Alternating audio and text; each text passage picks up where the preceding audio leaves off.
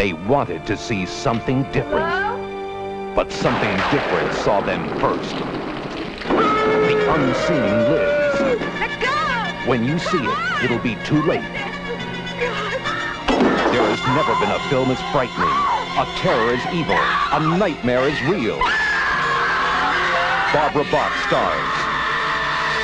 In the unseen from World Northal, rated R.